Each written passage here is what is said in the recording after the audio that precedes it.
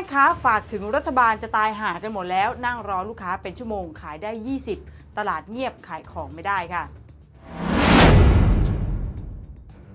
แม่ค้ารายหนึ่งค่ะได้โพสต์คลิปนะคะตอบคอมเมนต์ที่บอกว่านั่งรอลูกค้าชั่วโมงหนึ่งได้ 20 บาท โดยแม่ค้ารายนี้ค่ะกล่าวว่า ตอนนี้เนี่ยใครที่มีงานประจำเนี่ยเกาะไว้ให้แน่นนะยึดไว้ให้ติดเลย อย่าได้คิดมาค้าขายนะ ช่วงนี้เนี่ยมีเท่าไหร่ก็หมด มีทุนเท่าไหร่เนี่ยก็หมดตอนนี้เนี่ยดูบรรยากาศนะเขาก็แผนกล้องไปนะไปรอบๆปรากฏว่าตลาดช่วงเย็นนะเงียบมากจริงๆนะพร้อมฝากถึงรัฐบาลค่ะจะทำอะไรช่วงนี้เนี่ยก็รีบทำเถอะนะสงสารแม่ค้าเถอะจะตายหากันหมดแล้ว บรรยากาศช่วงเย็นค่ะแม่ค้าบอกว่าเป็นไปได้ยังไง เพราะเวลานี้เนี่ยเป็นเวลาขายของปกติเนี่ยเวลาทุ่มกว่าๆเนี่ยเป็นเวลาที่เขาเรียกว่ามันชุลมุนที่สุด พนักงานเนี่ยเขาก็เลิกงาน คนงานก็เลิกงาน ทุกคนก็จะเลิกงาน แล้วก็มาที่ตลาดเวลาประมาณนี้ ช่วงเวลาที่เราเนี่ยได้เงินเยอะที่สุดนะแต่ณวันนี้เนี่ยนะดูสภาพนะบอกตรงๆถึงบอกว่ามีทุนเท่าไหร่เนี่ยให้มันเหลือเท่าเดิมเนี่ยดีกว่านะช่วงนี้เนี่ยมันเงียบหนักกว่าเดิมอีกค่ะ จากกรณีที่ก่อนหน้านี้ค่ะ ก็มีการสำรวจบรรยากาศท่องเที่ยวแล้วก็การค้าขายนะก็พบว่าสภาพร้านค้ารายย่อย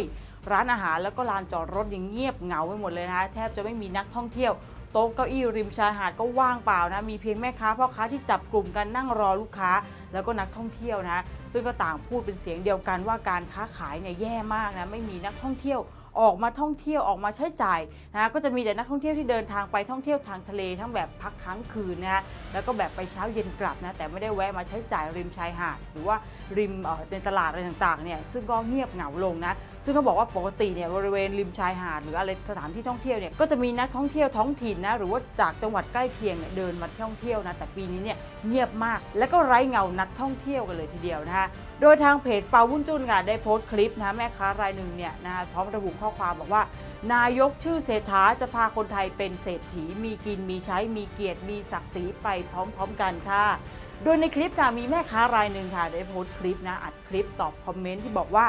นั่งรอลูกค้าชั่วโมงนึงเนี่ยได้ 20 บาท โดยแม่ค้ารายนี้ค่ะกล่าวบอกว่าตอนนี้เนี่ยใครที่มีงานประจำนะเกาะไว้ให้แน่น ยึดไว้ให้ติดเลยนะคะอย่าได้คิดมาค้าขาย ช่วงนี้เนี่ยมีเท่าไหร่ก็หมดนะมีทุนเท่าไหร่เนี่ยก็หมด ตอนนี้เนี่ยดูบรรยากาศนะเขาก็แพลนกล้องไปรอบๆนะปรากฏว่าตลาดในช่วงเย็นเนี่ยเงียบมากจริงๆนะคุณผู้ชมนะเขาบอกว่าบรรยากาศช่วงเย็นเนี่ยมันเป็นไปได้ยังไง เพราะเวลานี้เนี่ยเป็นเวลาที่ขายของปกติเวลาทุ่มกว่าๆเนี่ยเขาเรียกว่าเป็นเวลาที่ชุลมุนมากที่สุดนะคะพนักงานก็เลิกงาน คนงานก็เลิกงานทุกคนเลิกงานแล้วก็จะมาที่ตลาดเวลาประมาณนี้ ซึ่งช่วงเวลานี้จะเป็นช่วงเวลาที่เราเนี่ยได้เงินเยอะมากที่สุดนะคะมีทุนเท่าไหร่ก็หมดตอนนี้นะ ดูบรรยากาศเนี่ยช่วงเย็นเนี่ยมันเป็นไปได้ไหมนี่บรรยากาศช่วงเย็นเนี่ยมันเป็นไปได้ยังไงเนี่ย เวลาเนี้ยมันเป็นเวลาขายของนะปกติ เวลาทุ่มกว่าเนี่ย เป็นเวลาที่เขาเรียกว่ามันชุลมุนที่สุด พนักงานเขาก็เลิกงาน คนงานก็เลิกงาน ทุกคนก็จะเลิกงานมาที่ตลาดเวลาประมาณนี้จะเป็นช่วงที่เราเนี่ยทุกและได้ตังค์เยอะที่สุด แต่ณวันนี้ค่ะแม่ค้าบอกว่าดูสภาพนะบอกตรงๆเลยนะมีทุนเท่าไหร่เนี่ยให้มันเหลือเท่าเดิมดีกว่านะแค่ได้กินได้ใช้เนี่ยก็ถือว่าเก่งแล้วเเขาบอกว่าจริงนะอันนี้เนี่ยไม่ได้พูดเล่นนะเรื่องจริง ถ้าไม่จริงเนี่ยลองเข้ามาคอมเมนต์ดูได้เลยนะเขาบอกว่าช่วงนี้มันเงียบหนักกว่าเดิมอีกนะ ซึ่งเมื่อช่วงเดือนพฤษภาคมเนี่ยเขาบอกว่าคิดว่ามันเงียบแล้วนะ ตอนนี้เนี่ยมันเงียบหนักกว่าเดิมอีกนะบรรยากาศนี่สงัดเลยนะ แต่ถ้ามาแต่ละคนเนี่ยก็ไม่มีเงินนะบางคนก็อยากกินนะจับกระเป๋าตังค์ถามราคาแล้วก็เดินหนีไปเลยนะเขาบอกว่าช่วงนี้เนี่ยนะเตือนไว้เลยนะใครที่คิดจะมาค้าขายเนี่ยอย่านะอย่าคิดลงทุนช่วงนี้มีเท่าไหร่ก็หมดนะที่ขายทั่วนี้เนี่ยสภาพ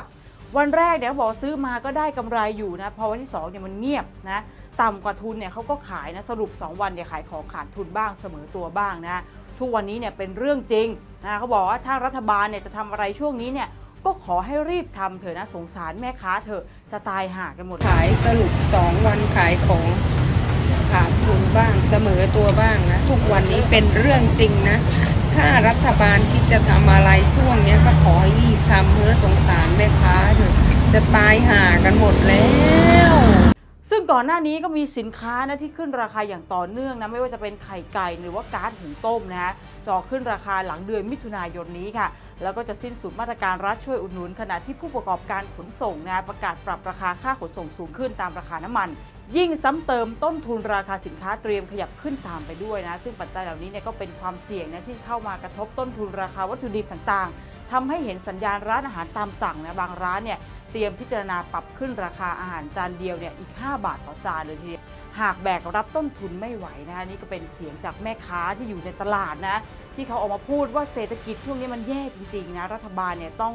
หามาตรการมาช่วยเหลืออย่างเร่งด่วนแล้วนะคะ และเพื่อเป็นการสนับสนุนสถาบันที่ทางไทยค่ะ เพื่อได้นำข่าวสารแล้วก็สาระความรู้ เพื่อเป็นประโยชน์ต่อประชาชนและก็ประเทศชาติ สามารถสนับสนุนสถาบันทิศทางไทยของเราได้ตามหน้าจอที่ปรากฏได้เลยค่ะ